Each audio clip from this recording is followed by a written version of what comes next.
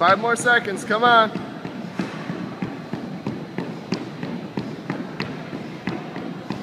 All right, relax.